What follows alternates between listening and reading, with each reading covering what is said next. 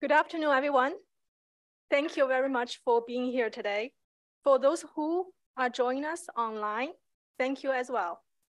Today's book talk is co-sponsored by UC San Diego Library and the 21st Century China Center.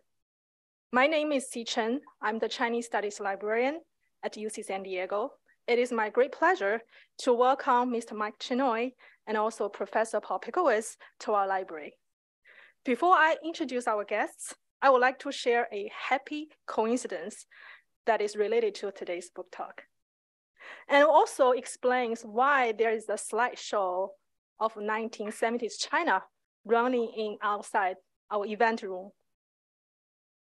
Um, long story short, around the same time that 21st, 21st Century China Center contacted Mr. Chinoy for this book talk, our library acquired a slides collection that is brought back by a group of Americans who traveled to China in 1973 on a tour organized by the New York-based newspaper called The Guardian.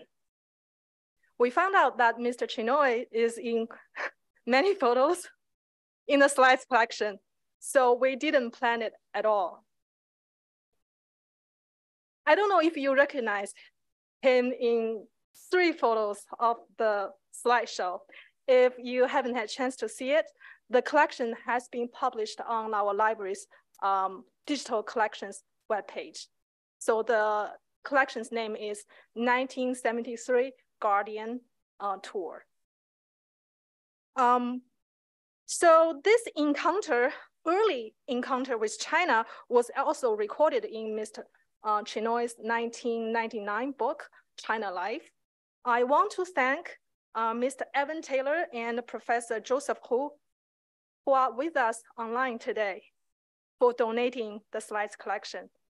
I also want to thank Ms. Alice Rothschild, the photographer, for letting us publish the collection. Now I'd like to introduce Professor Paul Pickowicz, who will be moderating today's Q&A and also he will formally introduce uh, Mr. Chinoy. Professor Paul Pickowicz is Distinguished Professor Emeritus of History at UC San Diego and inaugural holder of the UCSD Endowed Chair in Modern Chinese History. He has produced 20 books, including Chinese Village and Socialist State, which details state exploitation at the village level Another book, China on Film, A Century of Exploration, Confrontation, and Controversy, examines the history of Chinese cinema. He has won three distinguished teaching awards of UC San Diego. Professor Paul Pickowicz also graduated 38 PhD students. He has held visiting appointments at Oxford, National University of Singapore, University of Edinburgh, University of Heidelberg, East China Normal University, City University of Hong Kong, École Normale Supérieure, Hong Kong Institute of Education, and Schwarzman College of Tsinghua University. He's an associate producer of the documentary film China in Revolution 1911 to 1949 and the Mao Years 1949 to 1976. Professor Pickowicz was honored by the German government in 2016 with a Humboldt Research Award for lifetime accomplishments in research and teaching. Thank you, Professor Pickowicz, for being our moderator today. Finally, I want I want to thank our library team and also the 21st Century China Center teams for providing the crucial support for this event. Thank you.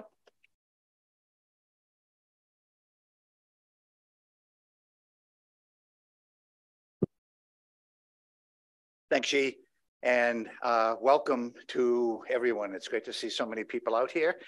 Um, Mike Chinoy and I first met in 1977 in Hong Kong when his long and distinguished journalistic career started with the CBS and ABC TV news bureaus in Hong Kong, way back then.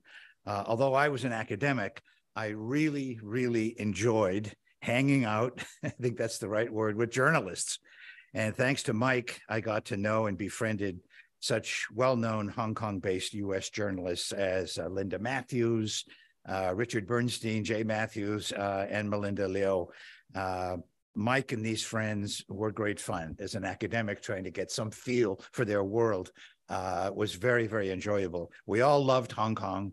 Uh, and uh, we shared many adventures uh, over uh, over the years in the in the late 1970s.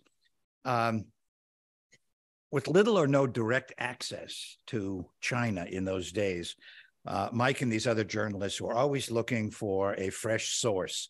Uh, since I traveled frequently to China at that time, Mike would sometimes do video interviews with me in his apartment upon my return to Hong Kong uh, after I paid a visit to the Democracy Wall in Beijing in August 1979, uh, Mike and the others urged me to write my own stories and publish them anonymously as an unnamed correspondent uh, in venues like the Far Eastern Economic Review in Hong Kong.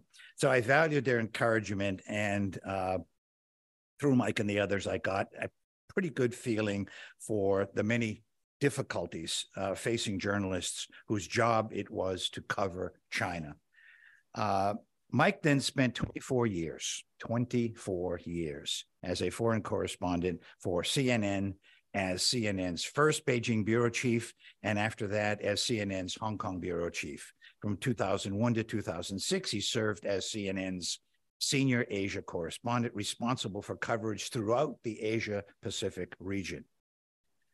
Uh, he covered firsthand. Uh, I mean, the list is so long. I'm not going to cover everything. He covered firsthand many major events, including, of course, the 1989 Tiananmen crisis. And as a result of his splendid work, he won many awards, including an Emmy, two DuPonts, and a Peabody. Since 2006, Mike has been a non resident senior fellow at the U.S uh, China Institute at USC, our neighbor up north. His many books include uh, China Live, uh, People Power, and The Television Revolution. I brought a copy of that with me. Uh, and um, uh, Meltdown, the inside story of the North Korean nuclear crisis. Uh, and a surprise, perhaps to some of you, a book called Are You With Me? Kevin Boyle and the rise of the human rights movement. So, among many other things, he's an expert on Ireland uh, and its uh, and its history, uh, modern history. So, um, Mike is here today to talk about his latest book, an amazing volume entitled "Assignment China: An Oral History of American Journalists in the People's Republic." I've read every word of it. Uh, it will be for sale out there when we're done. Um, you better get in line early because I think they're going to sell out. Uh, it's a book that is connected to a wonderful documentary film series on the same topic produced by Mike. So please welcome Mike Chinoy.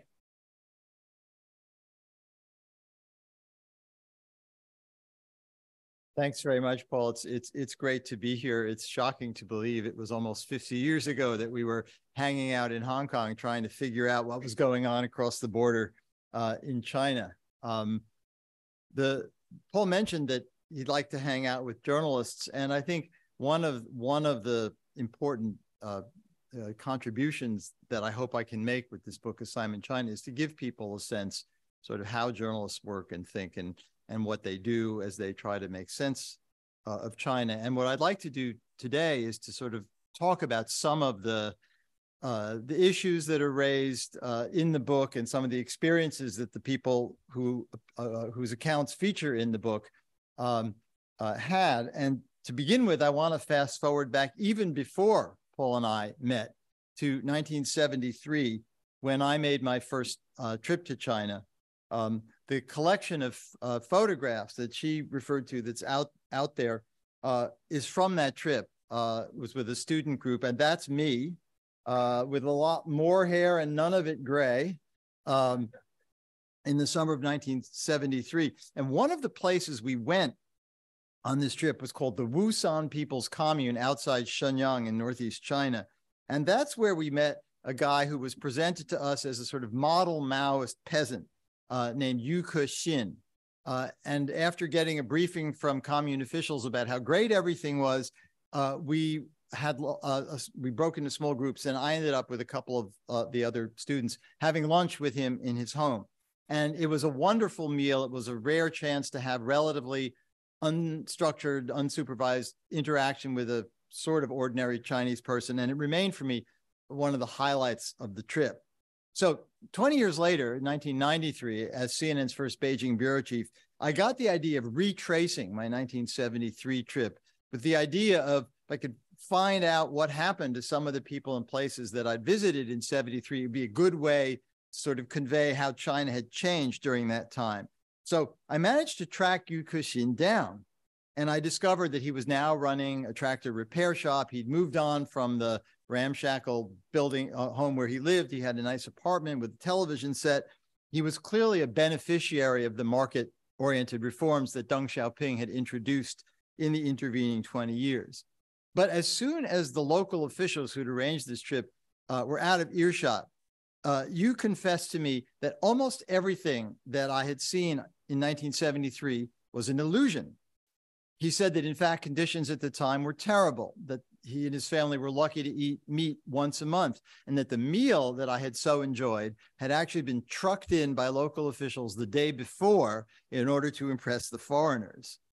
And to me, this underscores a central theme in any discussion about the history and experiences of foreign correspondents who have covered China, and that is the challenge of finding the truth in a vast, complicated history with a, a long uh, tradition of uh, uh, distrust of outsiders, a secretive and authoritarian political system. This, by the way, is Joe Kahn, who in the 1990s and early 2000s covered China for first the Wall Street Journal and then the New York Times. Today, he's the editor in chief of the New York Times, and he's one of the more one more than 100 journalists whose interviews make up the heart of Assignment China. In thinking about this question, the stakes really couldn't be higher because over the decades, the American media, including in, in this photograph, Evan Osnos of The New Yorker, have played a critical role, profoundly influencing US views of China, as well as the policies of successive American governments. Moreover, given the reach or clout of American news organizations like the New York Times or the Washington Post or the networks, CNN, or the wire services like the Associated Press, um, that has meant that the uh, who are who whose coverage is uh, used all over the world that has given the American media a kind of disproportionate impact in shaping how people all over the world understand or misunderstand China. But for many consumers of news, the way in which the information that you see on the, your TV screen or read in the newspaper or listen to on the radio, read online, um, actually gets there remains a mystery few people really understand what goes into uh, the reporting, the writing, and the transmitting of news. This, by the way, is John Pomfret, who in 1989 uh, was a reporter for the Associated Press, and that's uh, he's standing behind Wuer Kaixi and Wang Dan, two of the student leaders of the Tiananmen Square protests, and he later became a very distinguished correspondent covering China for uh, the New York Times as any journalist or anybody who really knows anything about journalism will agree, however, the process decisively shapes any news report. And I'll talk more about that as we go along. So that today, with China emerging as a global superpower and its relations with the US more uh, strained than at any time in the last 50 years, I would argue that understanding the people who have covered China for the American media and how they've done so is crucial to help everyone understand the news they're watching or reading, and providing that understanding is the central goal of Assignment China. The story of the journalist in Assignment China begins with the triumph of Mao Zedong's communist revolution in 1949, at which point virtually all American and other Western uh, journalists were forced to leave the country. Indeed, when Mao proclaimed the establishment of the People's Republic in Tiananmen Square on October 1st, 1949, not a single American correspondent was there to cover the story.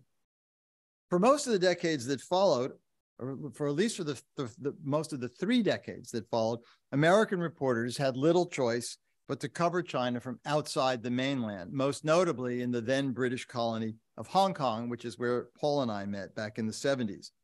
The China Watchers, as they became known, relied primarily on the official Chinese media, which they monitored religiously for clues, as well as the occasional interview with refugees or the very infrequent visitors uh, to the mainland with whom they could speak. Bernard Kalb, who sadly passed away a couple of months ago at the age of 100, was based in Hong Kong in the late 50s for the New York Times and then joined CBS News in Hong Kong for much of the 1960s. And he offers a sort of interesting sense of what being a China watcher involved. Where's the sound that worked before? How do we get information about China? We got bits and pieces. We read everything we could. We put the mosaic of pieces together and try to extract some narrative about what was happening in China. But this was bits and pieces journalism. It was, in fact, a frustrating beat, especially when China was convulsed with upheavals like Chairman Mao's Cultural Revolution uh, in the late 1960s, which journalists couldn't witness for American journalists couldn't witness for themselves. In fact, it was not until President Richard Nixon's historic trip in early 1972 that the door began to open.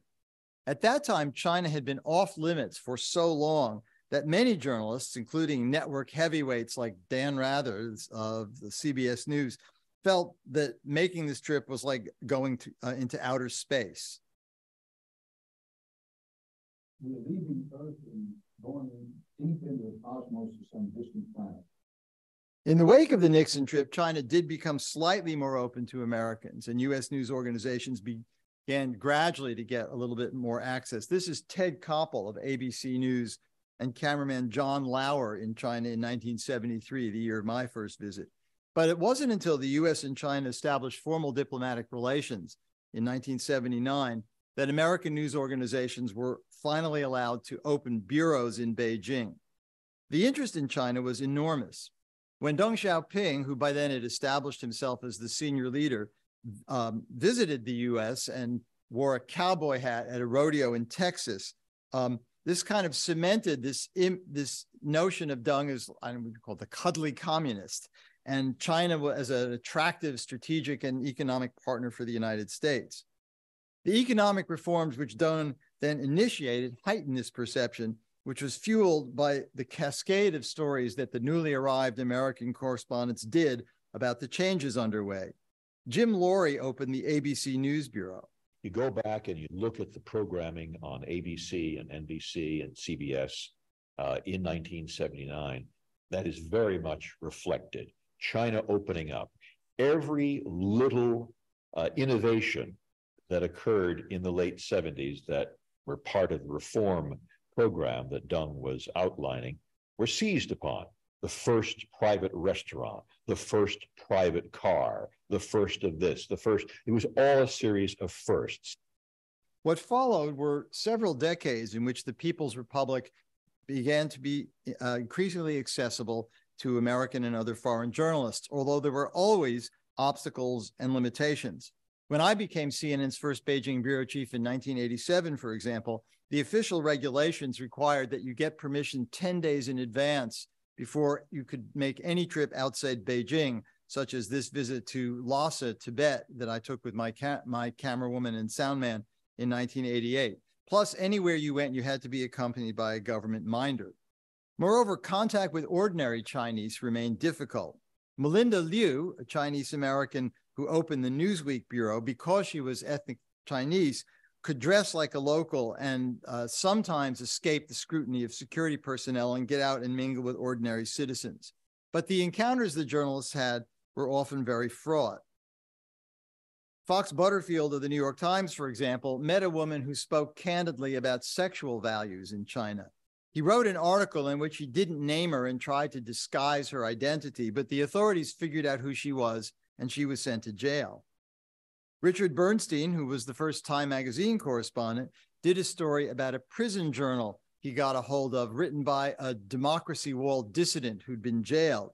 Bernstein was called in for questioning by the police, and the dissident's sentence, which had been three years, was increased to 11 years. Still, Deng Xiaoping persisted with his reforms, which included uh, gradually greater engagement with the Western media. In 1986, for example, he gave an interview to Mike Wallace of the CBS 60 Minutes program. It was the uh, first time that a Chinese leader had actually sat down with a Western television journalist. But the reforming trends alarmed Communist Party hardliners who made repeated attempts to roll them back, partly by periodically rolling out campaigns against so called bourgeois liberalization. Dorinda Elliott, who arrived in 1986 for Newsweek, tells a story of trying to interview a farmer in the countryside about one of these campaigns, and her experience gives a good sense of the challenges journalists face then. And as a journalist, this was firstly no easy thing. You had to go through the foreign affairs office of the you know province, and then it got down to the town level, whatever. By the time I got to the village, I probably had 20 you know Chinese you know officials, Communist Party officials following me. And I remember going into this farmer's house and I'm trying to have a conversation with this farmer in Chinese. But in the meantime, you know, like 15 or 20 government officials come into this tiny little house with me, and the entire village is basically looking through the window. the farmers, the family of farmers are totally terrified, have no idea what's going on. So I turn to this woman and I say, "So tell me, you know, what what do you think about the bourgeois liberalization campaign and and you know what's going on?" And she says, she looks absolutely terrified, doesn't know what to say, and she says well, the reason that we're supposed to support bourgeois liberalization is because, and you can see the officials saying, no, no, no, no, no, you're supposed to, you know, you're supposed to be opposing bourgeois liberalization. And, you know, I felt like, oh my God, what have I done to this poor farmer? We, we all had that kind of experience from time to time. In 1989, with the huge pro democracy protests in Beijing's Tiananmen Square and elsewhere, uh, that became a watershed year, not only for China, but for the history of media coverage in China. Due to an accident of history, which is that the Soviet leader Mikhail Gorbachev had been invited to Beijing to put an end to the 30 year long Sino Soviet dispute, the Chinese authorities wanted the summit, which was going to be the crowning achievement of Deng Xiaoping's uh, diplomatic career, uh, to be covered widely. And so they gave permission to CNN and other broadcasters to bring in uh, satellite dishes, which were big, cumbersome. The CNN satellite dish was three meters; it was huge, and and all sorts of other equipment to do live broadcasts.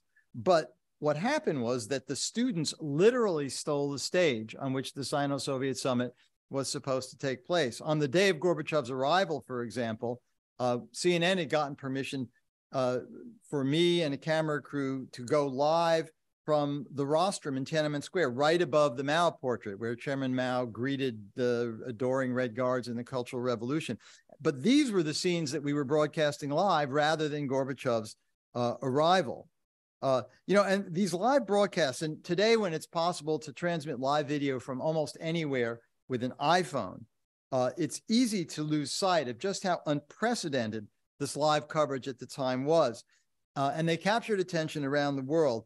And they presented a picture of China utterly different from the narrative that the Chinese Communist Party had long sought to impose on foreign journalists. But on the night of June 3rd and 4th, the People's Liberation Army was called in to crush the protests. The following day, from a balcony of the Beijing hotel, a CNN cameraman named Jonathan Schaer and a photographer for the AP named Jeff Widener captured an image that became one of the iconic moments of uh, of our time. Another cameraman said, "Hey, look at that guy in front of the tank." And I looked at it and said, "Oh my God!" Zoomed in on it and started videotaping. And they were trying to scare him off by shooting over his head. Well, shooting over his head was basically at, at where our position was. It was the fifth floor, the fourth floor, whatever balcony we were on. But the bullets were so close you could hear them whizzing by. And at that point, we just locked the camera down. It was just too dangerous. There were bullets ricocheting around. So I'm just like waiting for them to get shot and holding the focus on them, waiting and waiting. And it's too far away. And I just, this is too far away. It's too far away. And I look back at the bed and I had that lens doubler, which would make my 400 and 800. And I have to think, do, do I gamble? Do I go back to the bed? Maybe I lose the shot, or do I just shoot this wider. So I took a chance and I ran to the bed, got it, put it on the camera, open the aperture up all the way. One, two, three shots. That was the result. Uh, extraordinarily powerful image. Uh, and, and, and the picture of the man in front of the tank be, became a symbol of a crackdown which shocked the world. And the coverage of Tiananmen more broadly produced a sea change in American perceptions of China. As the 1990s arrived, the US press corps uh, in Beijing remained largely focused on the bitter legacy of 1989 and the atmosphere of repression that enveloped Beijing. But in such a climate, many reporters did not initially appreciate moves by Deng Xiaoping, most notably uh, his famous Southern tour of 1992, uh, when, which was aimed at reviving his program of economic reform. But the attention of American journalists swiftly shifted to chronicling the dramatic economic, social, and even political changes triggered by the boom. The new atmosphere also led to a significant improvement in conditions for foreign journalists. It became much easier to travel. Local officials were much more accessible. Instead of chasing us away, they often asked American journalists for advice about how to attract foreign investment. By the late 1990s, the China beat was uh, entering what uh, Keith Richburg of the Washington Post described as its golden age. This is some amazing transformation that's going on in China right now. Beijing was kind of really exploding as uh, it went from being this kind of uh, difficult place for correspondents to live to being actually kind of fun. It was, in fact, an exhilarating period. China's economy was turning into the manufacturing hub for the world. And American journalists were able to dig into Chinese society in ways that had previously been difficult if not impossible, uh, trying to make sense of the paradoxes of a society where one day you'd be covering a jail dissident, and the next day you'd be covering the opening of the world's largest airport or interviewing another Chinese entrepreneur who'd become a millionaire. 2008 was the climax of this period when Beijing hosted uh, the Summer Olympics. In the run up to the Games, the government lifted many long-standing restrictions on the movement and activities of foreign correspondents. But in the wake of the games, China's domestic political climate and its external behavior began to change. The financial crisis that rocked the West in 2008 and 2009 convinced Chinese leaders that the United States was a declining power and that the time was right for Beijing to show a more assertive face to the rest of the world. And that included its treatment of foreign media. For reporters, covering China became an increasingly difficult and tense game of cat and mouse with the authorities. Here's one example. The actor Christian Bale, the star of Batman and other movies, was in China uh, for uh, a premiere of a new film. And he wanted to meet Chen Guangcheng, the blind dissident lawyer who'd become known for helping the farmers in his village not far from Beijing and had been uh, detained under some kind of house arrest. Bale was accompanied by CNN correspondent Stan Grant as they tried to drive to Chen Guangcheng's village, but just outside they were set upon by local security personnel. Why can I go? Why can I not go visit this man? Hollywood actor Christian Bale is used to action, but this is no movie set. We've been stopped. Plain clothes Chinese security who would not identify themselves, determined to stop him and our crew contacting a detained human rights activist. No, no, watch, watch, watch it, Christian. Watch. We're trying to get out of here. Once again, we've been stopped. We've been stopped right here. And as you can see, they're, they're pushing Christian here. We're just trying to leave peacefully. We're trying to leave peacefully. Government anger at the US press intensified in 2012 when Michael Forsythe and his colleagues at Bloomberg News produced an expose showing that relatives of then Vice President Xi Jinping, who was about to become the top leader, had made millions of dollars in a host of businesses. At the same time, David Barboza of the New York Times used publicly available corporate documents to uncover how relatives of then Premier Wen Jiabao controlled numerous companies and it also made millions of dollars. It's interesting to sort of hear his description of how he did that. Every time we requested a company, we found 10 more. So if you can imagine this big chart is you have like even with Ping An, behind Ping An are 30 companies, and then behind those, it ends up any company you look at is like 100 companies. I continued to map out a strategy of how to do it without setting off alarm bells, without letting people know, thinking about who was going to be translating, what I could show people. and also to go around to lawyers, accountants, bankers, and test some of the theories without giving them what I was doing because that was too sensitive. The stories broke new ground as examples of a new kind of investigative journalism for covering a rapidly changing China. The correspondents took advantage of China's evolution towards a more internationally engaged market style economy to unravel complex and often hidden business dealings reaching to the highest levels in the People's Republic. Not surprisingly, retaliation from Beijing was swift. Michael Forsythe received death threats and had to leave China. The websites of both Bloomberg News and the New York Times were blocked, uh, and their reporters had trouble getting visas. Since then, China has become an increasingly challenging beat as reporters have found themselves regularly tailed, harassed, blocked, and sometimes even physically assaulted. Xi Jinping's aggressive campaign to consolidate power has made conditions for journalists even more difficult. While not as bad as the Mao era, I would argue that the climate for China based reporters is, is more restrictive now than at any time since the country began uh, the reform process and normalized relations with the US in the late 1970s. At the same time, Xi Jinping has further tightened Communist Party control over Chinese society, and he changed party rules to allow him to, in effect, uh, stay in office for the rest of his life. High level Chinese politics have always been opaque, secretive, and a challenge to figure out. But under Xi Jinping, they become even more so. Indeed, even though China is in some respects more accessible now than during the Mao years, Xi and other uh, senior officials hold meetings, they travel. Xi's even gone to Davos to address the World Economic Forum. But I would contend that our knowledge of the inner workings at the pinnacle of power in China is arguably less now than it was during Mao's time. American and other foreign journalists aren't alone in struggling to try and penetrate the wall of secrecy. Nonetheless, in more recent years, American journalists have persisted in doing what they could, and somewhat surprisingly, that has turned out to be quite a lot. It's included exposing the massive campaign of repression targeting the Uyghur Muslim population in the far western province of Xinjiang, this was coverage which helped make Chinese government behavior in Xinjiang into a major international issue. But conditions for reporters continued to deteriorate.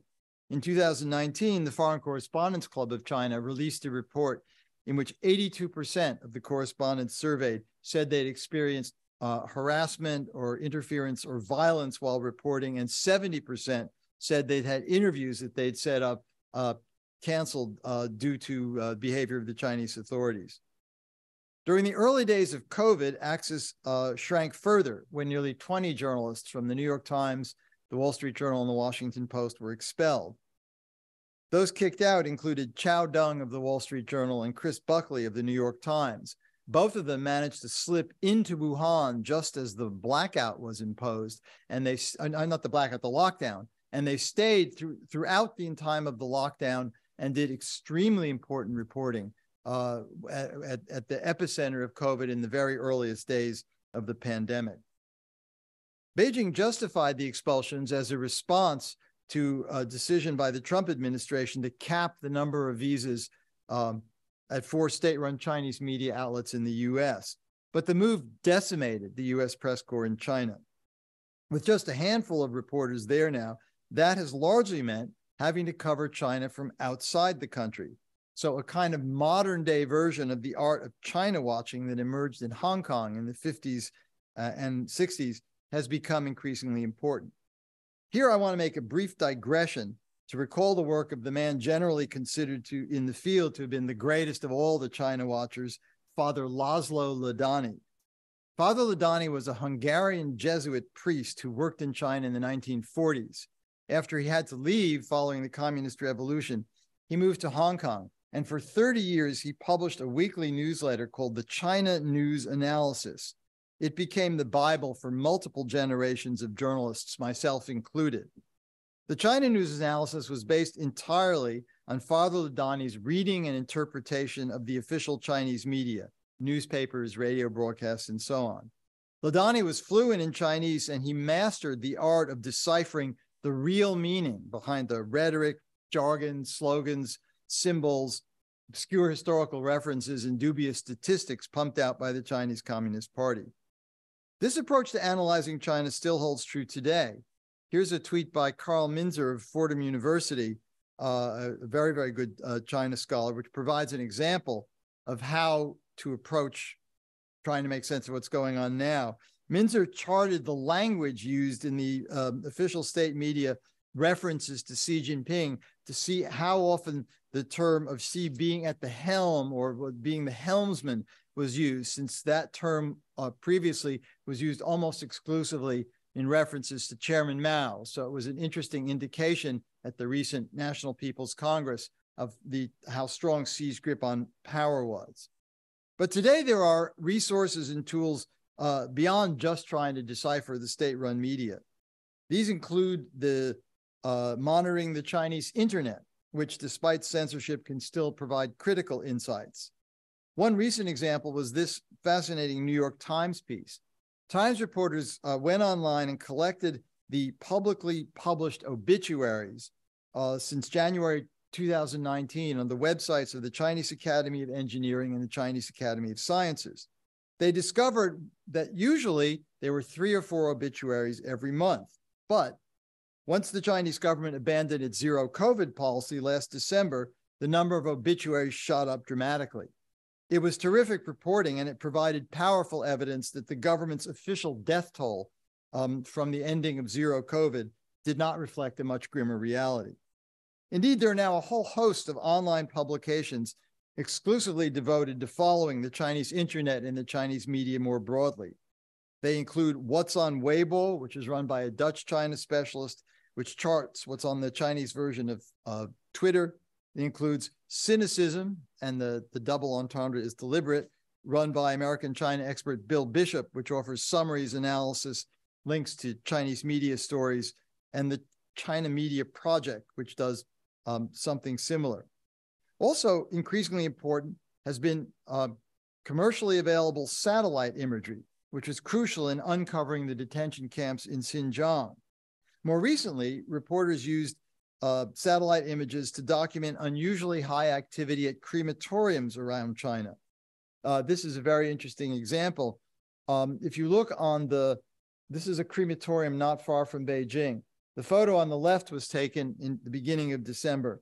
The satellite photo on the right was taken at the end of December. And the only thing that happened between when the first and the second photograph was taken was that zero COVID was lifted.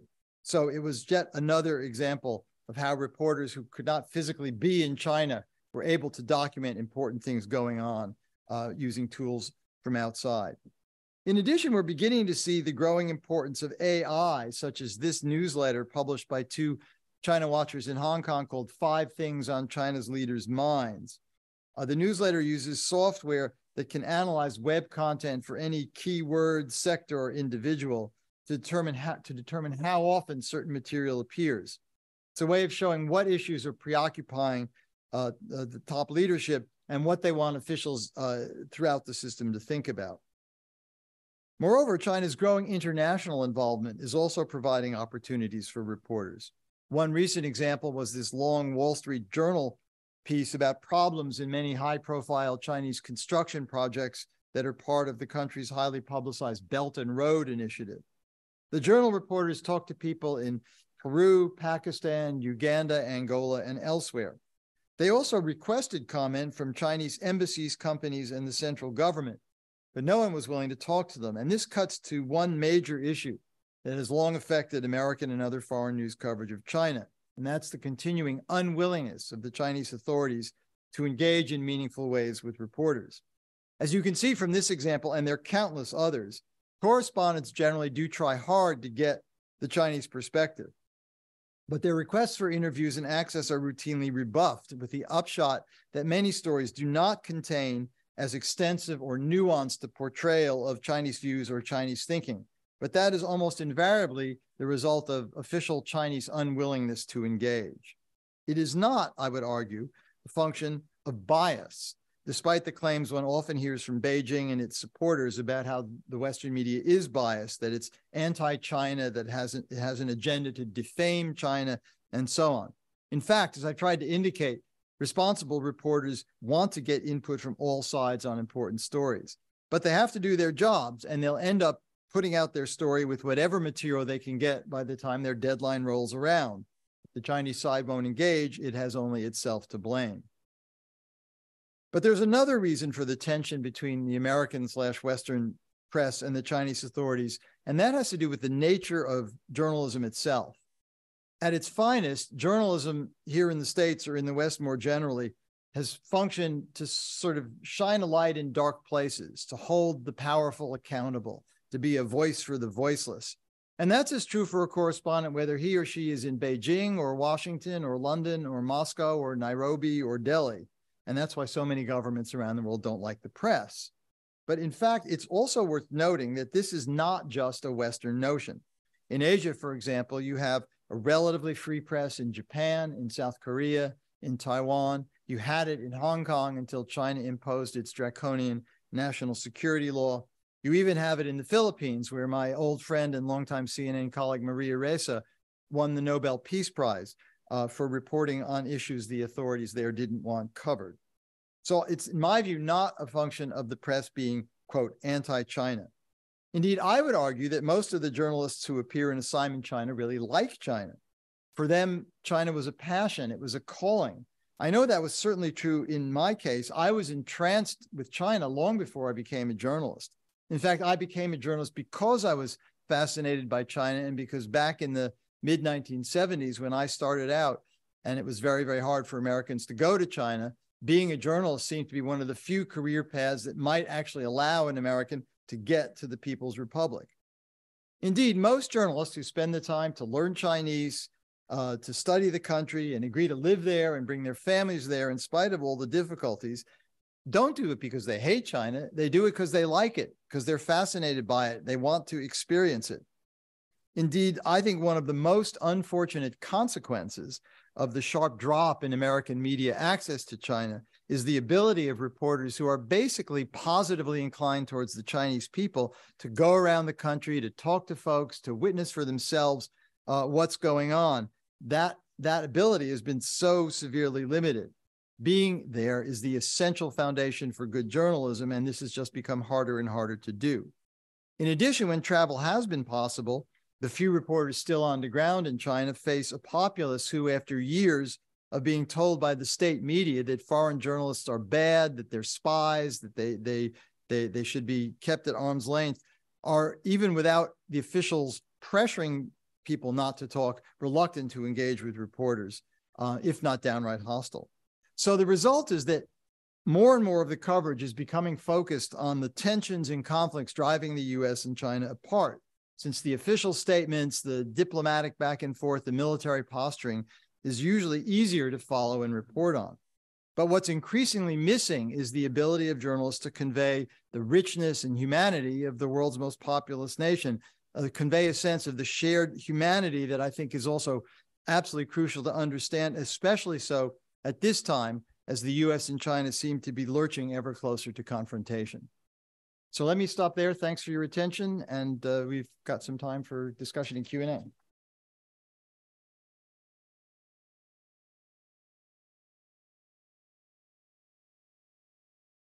Okay, thank you. That's great. And you had, uh, we were going to give you one more minute, but you didn't use it. So that's good. You know, I was a TV reporter. I would have a producer in my ear say, 30 seconds, 15 seconds, cut, cut, cut. So I know how to do this. Okay.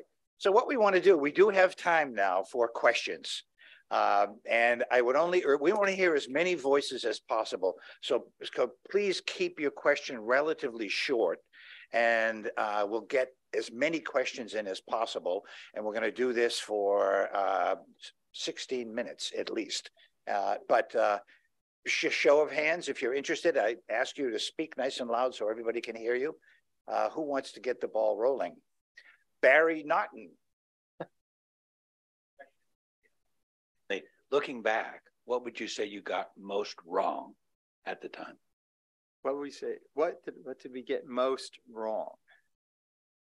Uh, where do you want me to begin? Uh, I, I, I would turn it around and say I think there are lots of specific things, specific episodes that people got wrong. I remember uh, after uh, the, the Gang of Four were purged, for example, a wire service, which shall remain nameless, which was in the same building in Hong Kong as the CBS Bureau, saw, uh, I think it was a Xinhua report saying uh, that uh, a Bain had been liquidated from the Communist Party and put out a bulletin saying China executes Mao's widow because he interpreted liquidated to mean physically liquidated. Um, after uh, in 1989, there were a flurry of rumors about uh, civil war, that the army was fracturing, and there's no question there were tensions, but there were some reporters who actually portrayed it that way, and it was wrong. But but stepping back, have overall, and, and having reviewed enormous amounts of the coverage over many decades, what struck me was not how much people got wrong, but given the limitations and the obstacles, how much of it they basically got right, at least on the sort of broad strokes, the, the, the broad contours of the political battles and the Cultural Revolution, for example, or the, the succession to Mao, uh, or around 1989. Um, were, I would say, if you look back, it was probably more right than wrong. Um, and given that you can't like just call up the central committee and get a quote or something like that, and you're so much of it is guesswork, and there's so many obstacles. Um, I, I, I would say that that they they did better than one might reasonably expect, despite the many things that the many specific things that were wrong. You focused early on about the centrality of Hong Kong in when it was not easy or even possible to get access to China for, for journalists. Uh, and then you went through the various phases of access to China, sometimes good, sometimes not so good, sometimes awful. Um, is Taiwan going to become the new place where actual journalists live and work to try to do the China story? Yes, sort of, I guess is the answer to that. There are quite a number of journalists who were in China uh, and had to leave or kicked out or who want to go to China and can't get in who are in Taiwan. Taiwan has the advantage that it is a Chinese speaking society. There is still a reasonable amount of back and forth. Um, but it's not the only place, and it doesn't have the advantages that Hong Kong had. There's not quite the same extensive uh, interconnectedness uh, that you would get in Hong Kong. So it's it's it's scattered. There are people in Taiwan. There are people in Seoul. There's a whole cottage industry of China watching in, in Washington now. Um, some of it, some of it quite good. Some of it, some of it less so. Um, but everybody's having to make do with the fact that it's so hard to be on the ground and see for yourself, and that just you know makes the one struggle harder to get half as much uh, of, of an accurate picture. And there's just there's so much we don't know about what's happening in Chinese society. We didn't know that much when we were there because 1.4 billion people, even if you have 14 reporters, as the New York Times did before the expulsions, you can't do much. Now they have two. So how can you be sure? So I, I worry that we're missing a lot of really important cross currents in Chinese society or getting just fragmentary information about. And, and where are you based now? I'm based in Taiwan. Questions? Yes, please. Uh, uh, Mike is coming your way.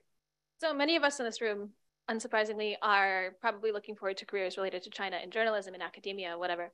Um, and certainly being a China watcher these days is very popular, and it's the easiest thing in the world to be a very bad China watcher. Since you've made a career of this and you've known many others who have, how do you think those of us looking at that potential career can be better and not worse China watchers, assuming that we have to do this from a distance? Um, read, read, read, read. um, uh, I would go back and reread all of Father Ladany's China news analysis. That's absolutely just just for to learn. I'm I'm, I'm not being facetious here. It's, it's it is it's available.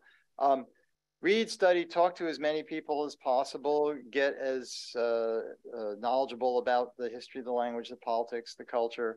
Um, you know, be humble, be be aware that the lang that that um, language is used in the Chinese Communist Party context. Words like democracy, for example, have completely different meaning.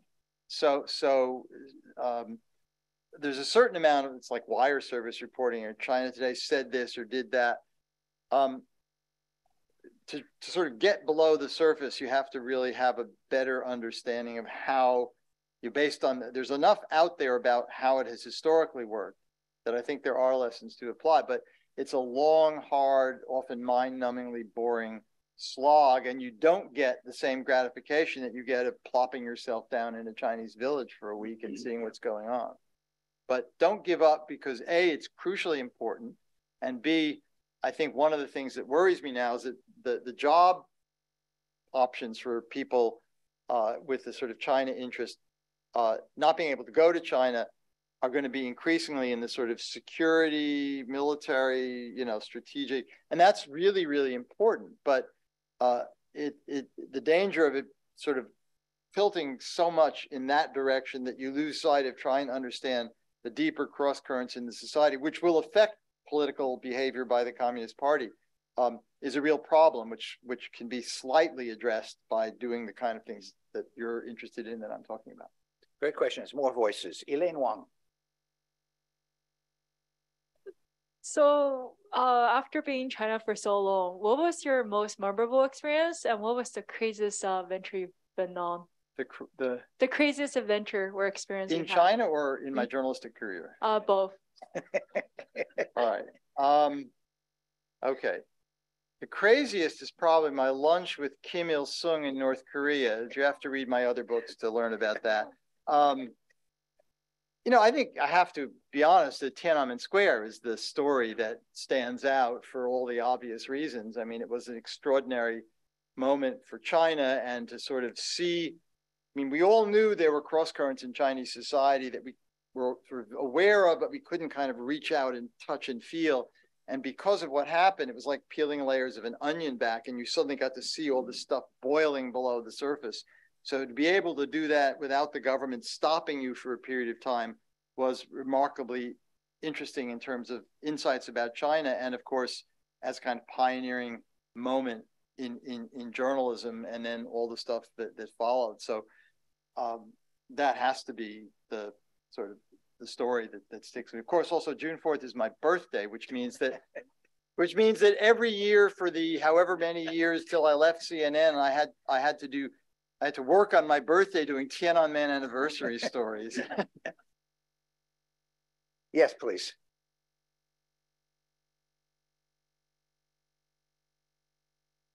First of all, I, I think that's a wonderful perspective of your doing as a journalist about journalism. And so I want to compliment you on that.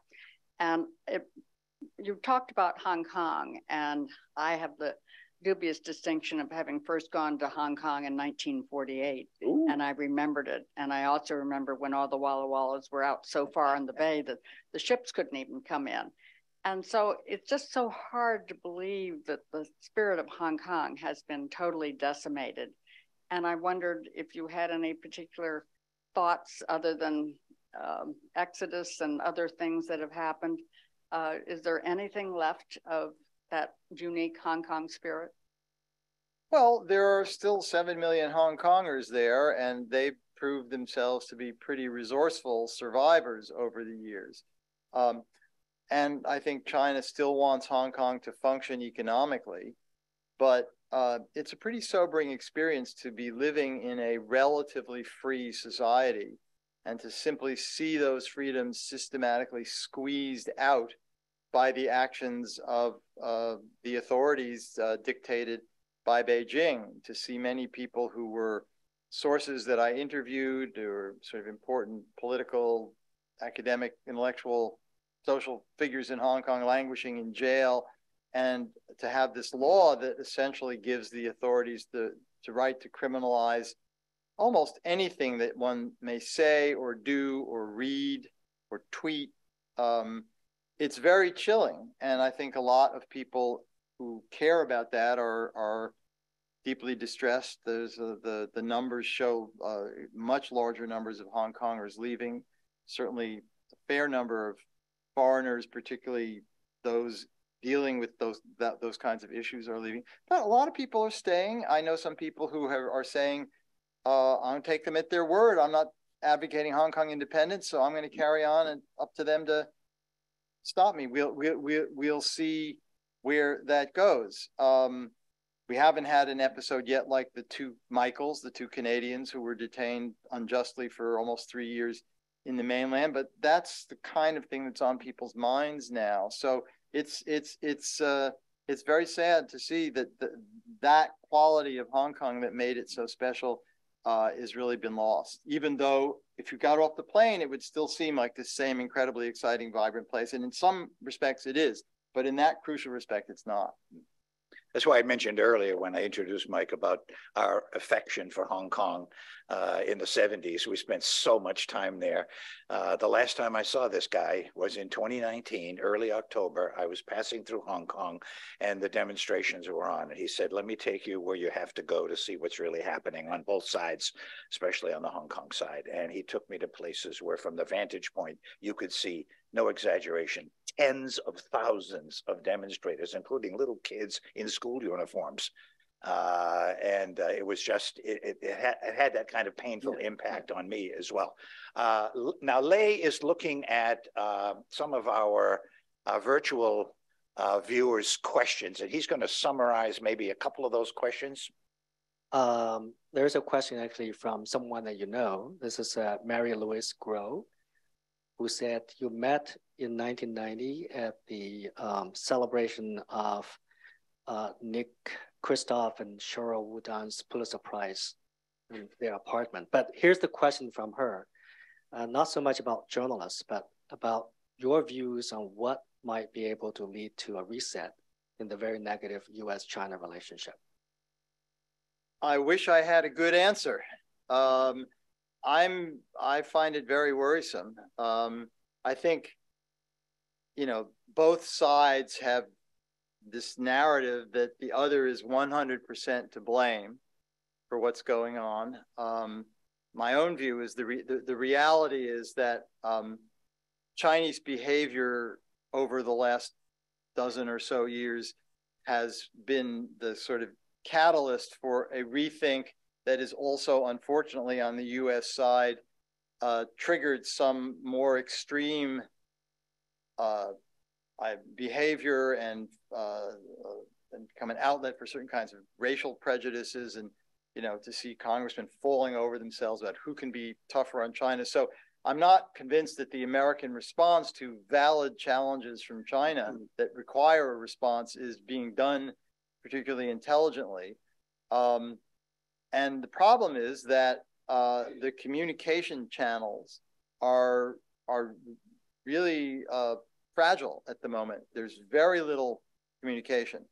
Um, the fact that the Chinese defense minister wouldn't take a call from the American Secretary of Defense when the balloon episode happened, I thought was very, very telling. You you hear this all the time that that uh, there's no there's very little back channel communication. There isn't a a Henry Kissinger-esque figure that can be sent quietly. I mean, for example, after Tiananmen, uh, President, uh, first President Bush sent Lawrence Eagleburger, who was the Deputy Secretary of State, and Brent Scowcroft, his National Security Advisor, on a secret trip to Beijing uh, about a month later to say, we, despite all of this stuff, and we don't approve of what you did, we still need to find a way to prevent the relationship from going off the rails. Um, but there, it's the, the Chinese don't seem in the mood to talk, and the the politics on both sides are extremely poisonous right now. The domestic politics. So I think it would be very hard for either side to take a step. Um, even though I think Biden and Xi Jinping would like to avoid, you know, the ultimate clash, and in fact, you know, this the balloon incident is a classic example of what I call the cock-up theory of international relations. It was an accident. The balloon went off course. The Biden administration tried not make it public until people saw it floating over the Midwest and took pictures of it. Then, when it came out what it was, there was this huge media outcry, and so they had to shoot it down. And then that torpedoed the Secretary of State going to China. So I'm deeply worried. And yeah. if they don't find channels to communicate, um, that's very problematic. And another casualty of this is the non-official channels, the journalistic exchanges, the student exchanges, the yeah. academic, with the people-to-people connections, which are important and have been a, a, kind of a glue that helps the whole thing from stops, helps stop the whole thing from coming apart is also becoming much more problematic. So I, all I would say is I don't have a solution and it worries me greatly. Talk about the balloon. New York Times today, did you see it? Two massive pages about the mapping the balloon really? from Hainan all the way through Alaska down and just devoted that much space. Uh, let's take one more. Um, Is there one more that they? Take one I, more. and I then have a one more question after too. I didn't answer my question. Okay. You got Can I- another one? Yeah, yeah. Okay. So this question is about the common Chinese perception of the Western media, quote unquote, of being very negative. Mhm. Right? Inside China, everybody was talking about Right. 正能量, you know, positive reporting and everything. that there's a particular spin on that. But what do you think of how do you help the Chinese people, ordinary Chinese people, to understand where the Western journalists come from? And because after all, you have to devote a certain scarce resources, you know, pages to reporting something about China, in selecting the story. So they would say, why didn't you, you know, report a lot of the good things that are happening or more good things about China, but then focusing on all the negatives. I mean, that's the perception. Right. How do you help the Chinese people to understand that? Well, they could all read my book, which will be coming out in Chinese. Uh, uh, it, Taiwanese publishers bringing it out the end. Simplified But- but Chinese. Seriously, there's 125 plus journalists talking about how they covered China. What did you do when you were the Associated Press correspondent in Nanjing and the Red Army rolled in? How did you sit in Hong Kong and make sense of the Cultural Revolution? What was it like if you were Barbara Walters flying on the press plane to China with Nixon? What was it like being Nicholas Kristof of the New York Times, uh, bicycling in, bicycling into Tiananmen Square on the night of June 4th? What was it like going to Xinjiang? So I, I honestly, I'm not, I'm not just trying to promote my book, but that's part of the reason why I did the book is to give people the tools to, to hear from folks in their own words what it's like. Beyond that, though, I do think there's an issue about uh, it's not the role of the journalist to promote good relations or promote bad relations. The role of the journalist is to cover news and to try and convey as accurately as they can a kind of a, a sense of what's going on in the society. In my view, journalism is a craft and it has certain values, and that includes trying to be fair, trying to put your personal politics or ideas or you know likes or dislikes aside. But the reality is that um, news is not just good news. News is all the news. And um, one of the problems is the Chinese Communist Party's idea of news is only good news. And if they were brave enough to accept that, you know, a 50-50 balance of bad, of, of quote unquote, more negative news would be balanced by more positive news, which I think would be the result if people had much more unfettered access. You get that. But in that system, what official is going to be the one to risk saying you allowed 50% negative coverage when Chairman Xi says we can't have any negative coverage? So I think it's it's it's a problem. And uh, you know, if we're not allowed to go, and and also the state media has spent several years saying that every journalist is a spy and has an agenda, and I, that's categorically untrue. Um, and I think if you read this book, you get a sense of it. But it's going to be hard to convince people of it if they don't have access to independent information. Okay, um, so um, great questions. Um, there are goodies I know outside that I want to get you access to soon, but I want to say a couple of final words. Uh, we've been spending all this time talking about uh, assignment China. Uh, I've read, sorry? Oh, one more question. Okay, uh, uh, okay. Quickly, please. Thank you. I, uh, thanks, Mike. Thanks for sharing your great insight about uh, China's um, China as the journalist. My question is pretty simple. So when you when you hanging out with your counterparty, uh, uh, the Ch- uh, mainland China journalist in a bar or in Beijing Mm-hmm. or Shanghai, wherever. So how do you see their uh, your counterparty part? How do you see the their reporting style? Yeah, like uh, Well, what did you see you. there? Good, good, good question. Um, I think it's it, it it has depended on the on the uh, political climate at the time.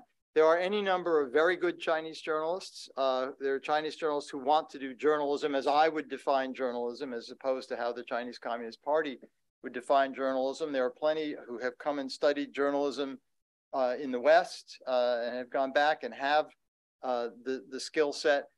How much they're able to use it has been varied. Uh, pol political coverage, very, very little. There were periods when more independent economic coverage was possible. We always used to feel the Chinese journals knew a lot but couldn't publish very much, whereas we didn't know very much, could publish anything. And so they were often very good sources, but I think it's uh, you know it's it's the, the, those kinds of contacts are increasingly problematic. But if China ever reverses course again, and there've been enough shifts in the history of the People's Republic that it's not impossible that it could happen, there will be people who have that skill set and and and and and those values and ideas who could play a role. But at the moment, unfortunately, they're not allowed to do so. Okay, uh, so um, we've been talking about assignment China. Uh, really appreciate all of uh, Mike's remarks. I want to say a couple of final words. Um, and I preface all of this by saying he already knows that I'm a wise guy, so I'm going to be able to get away with what I'm about to do because I have a gift for Mike. He doesn't, Okay. oh, don't look yet. I have a gift for Mike because there's another book called Assignment China. I'm going to get sued. And I'm holding it right in my hands here. It was published 67 years ago. I won't get sued. it was published 67 years ago in 1956. I think you might still have been in diapers at yes, that point. yeah. Okay, that's what I thought. So here's the story, and it's all true. Way back in 1971, when I made my first visit to China in the middle of the Cultural Revolution, I met a former American journalist who was living in China, one of the very, very few who had worked as a journalist in China for a couple of years after the 1949 revolution. His name was Julian Schuman. I know you know the name. Uh, he is the one who wrote a book called Assignment China. Here it is. He wrote a book called Assignment China back in 1956. The two books have the same title, but they are completely different. Schuman's book offers a single, one dimensional voice, his own, and covers only the three years before and the three years after the 1949 revolution. Mike's new book, uh, as he just mentioned, gives us access. I counted them well over 130 complex and fascinating journalistic voices and covers almost 80 years of twists and turns and debates in uh, among U.S. Uh, uh, journalists who struggled to report on ever-changing developments in China, and that's why I strongly recommend this book to you. It's a great book.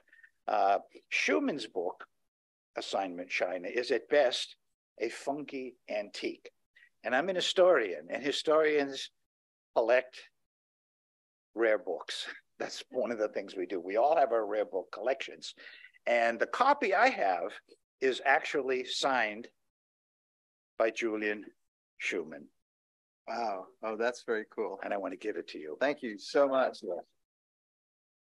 Also, I have a more colorful cover. So thanks to everybody for coming. This was a wonderful, wonderful session. And uh, there's food and drink out there. But the most important thing, there are books out there, I'll and there aren't many of them. He's going to sign them. And it'll go on for the next 20, 25 minutes. Then we have a dinner appointment. Thank you all. Thanks a lot.